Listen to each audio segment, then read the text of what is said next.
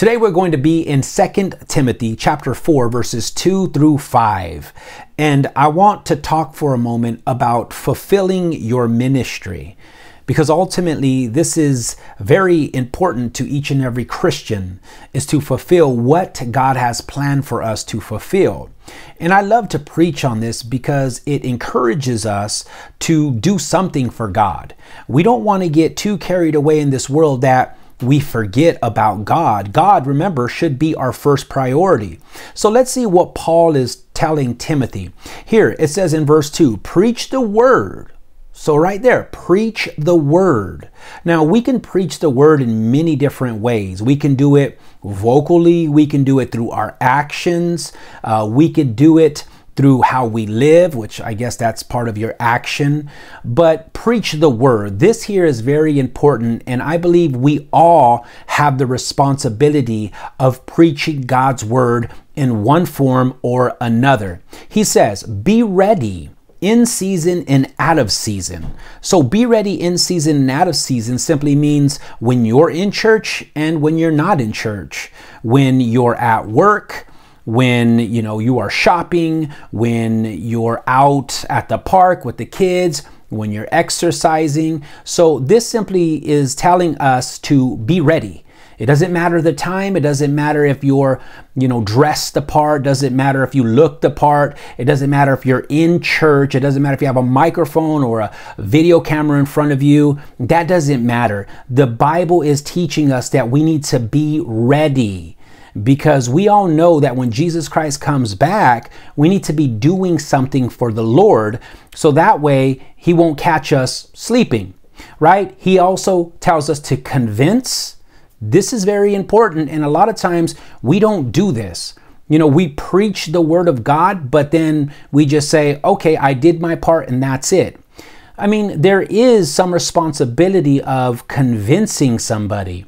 So, how do you convince somebody? Well, the same way you would convince somebody that, you know, you need help, the same way you would convince somebody that you need something from them. You convince them, and a lot of us are very convincing when it comes to what we want.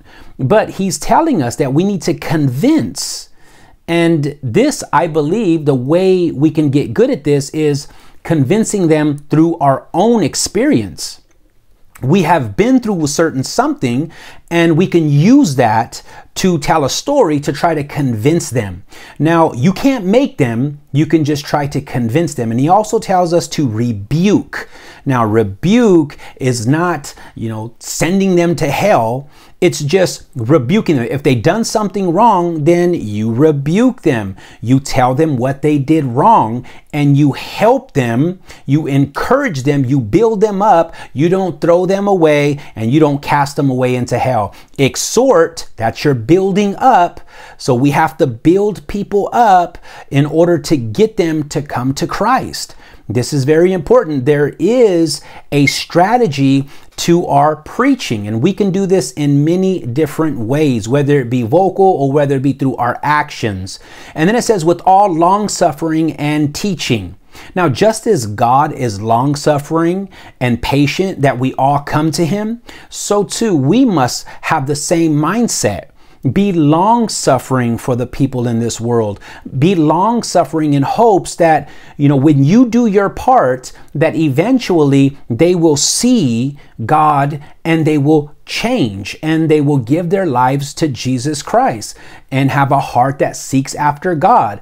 And we have to teach right? Teaching is very important because what you're doing is you're helping them learn the word of God. You're not just telling them something and expecting them to, you know, learn that way. You are teaching them. You're showing them in the Bible, you're showing them through example. You have to teach them like a teacher would teach the kid. So we have to remember we are teachers. We have to convince, we have to rebuke, we have to exhort, and we have to do it with all long suffering. This sounds like we have to be parents right? So that's what Paul is telling Timothy. That's one thing that we have to remember in our own Christian walks that we have to preach the word. In verse 3, for the time will come when they will not endure sound doctrine But according to their own desires, because they have itching ears, they will heap up for themselves teachers. So, this is important because he's telling us that there's going to come a time when the people are not going to endure sound doctrine. Sound doctrine, of course, is the word that we are proclaiming. That is Jesus Christ. And a lot of people are not going to endure the sound doctrine that we are bringing, the sound doctrine that we have to give to them, which is Jesus Christ, because according to their own desires, they will have itchy ears. And what they're going to want is not what you are telling them, but what they want to hear. That's what itching ears are.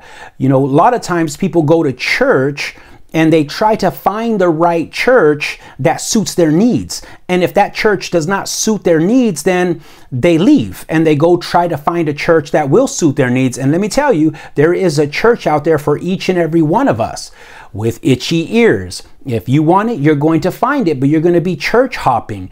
And sound doctrine is not going to itch your ear. Sound doctrine is, like it said, rebuking, exhorting with all longsuffering and teaching and convincing.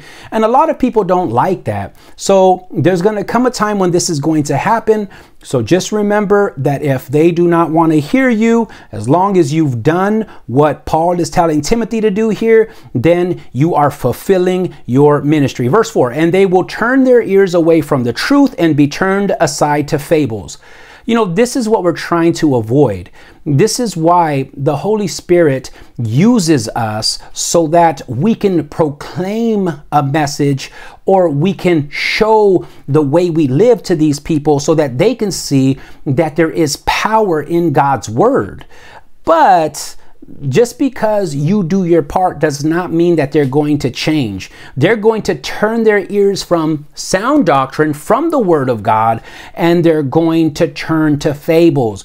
Whatever it is that the people are saying that they want to hear, they're going to go. And a lot of the times, it's because they don't study on their own. If, if we study the Bible, then we would know what to look out for.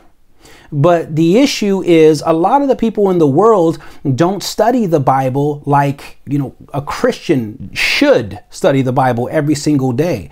And if this is talking about Christians, having itching ears and only wanting to hear what they want to hear to satisfy their needs, then that's wrong of you if that's you.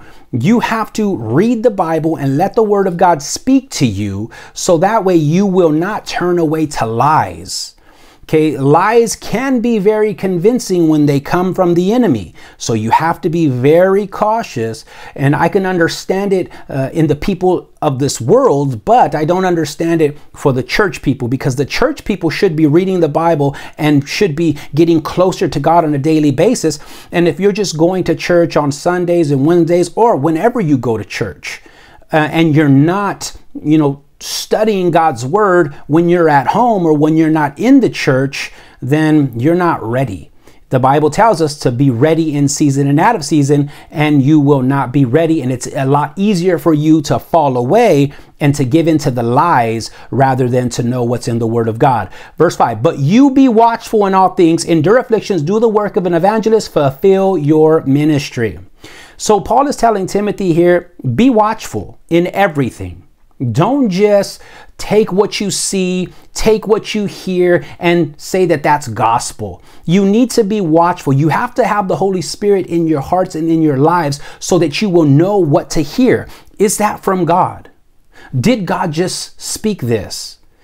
Did was that God that put that in my heart or was that my own flesh? Right? So you have to be very careful on what you are allowing in your lives. So that's why Paul is telling Timothy as a young pastor that you need to be watchful in all things and you need to endure the afflictions because afflictions are going to come to those of us who need to fulfill our ministry because we're going to see this. It's not only going to happen to us, it's going to happen to every Christian who wants to fulfill their ministry. So we have to stand strong. And if there's one piece of advice that I can give you today is read your Bibles, know your Bibles back and front, Old Testament, New Testament, know who Jesus is, know what he came to do, and that way you will be fixed and secured and you will not move uh, with itching ears and you will not chase fables, but you will know the word of God because the word of God is able to transform you. It's able to change your lives and it's also able to help you fulfill your ministry and change the people's in this world's lives. God bless.